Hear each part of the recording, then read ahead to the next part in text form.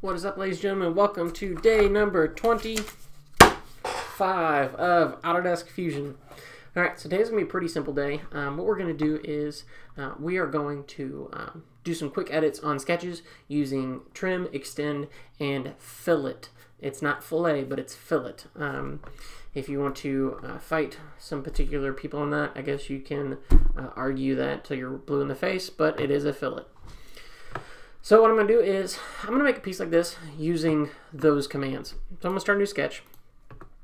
And I'm just going to create a really simple rectangular shape with another rectangle on the inside.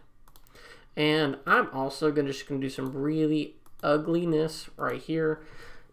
For very quickly, how do you erase certain geometries? You can absolutely go in, right click, and hit delete.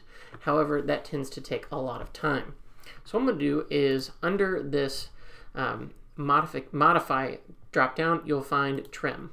Often I just hit T on my keyboard. So I'm going to hit T on my keyboard, and then I can just go hover over and click on any of this geometry I would like to disappear. Now, a nice little shortcut. Say if there's a lot of geometry and I'm not too worried about being accurate, you can hold down the mouse and it will erase any geometry that you're going to go find. Cool. Next thing, let's look at a fillet. So a fillet allows us to smooth off an edge. So what you can do is you can click a fillet between two lines, or if you hover over in, in the corner, sometimes it'll automatically do that for you. And we're going to go ahead and fill all these.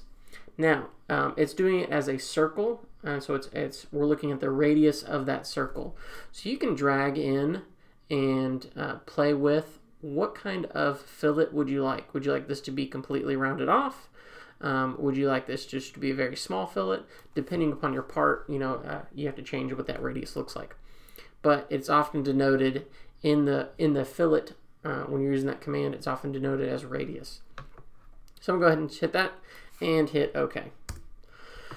All right, next thing. Let's look at it. Um, I'm just gonna fillet all corners of these again. And let's look at this other function called extend.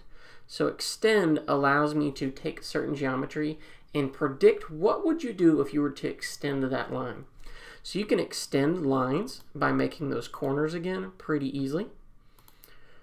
And we can remake that, that rectangle I just had.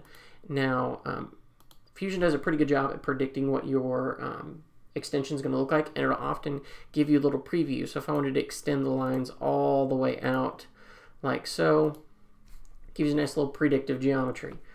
However, I am going to erase all that real quick and um, go back to my filleted inside. And um, let's use extend to complete these as circles instead. There we go. Now you notice where I'm clicking on is not necessarily want the line to be, but it's the line I want it to extend, not the area I'm at. So if I wanted to extend this line, I'm not going to put my cursor down here. I'm going to hover over the line and manipulate it to do the extension I want it to do. All right, so let's go ahead and trim this up a little bit. Uh, let's uh, trim this up. That way, when I do my extrusion, we create a nice simple piece. I'm going to go ahead and hit finish sketch and uh, let's extrude this out. And that inside geometry as well. And there we go. Alrighty, that was using the commands fillet, uh, extend, and trim to make some simple geometry and some quick edit sketches. That's going to be it for this video, folks. It's going to be a nice short one, and I'll see you on the next one. Adios.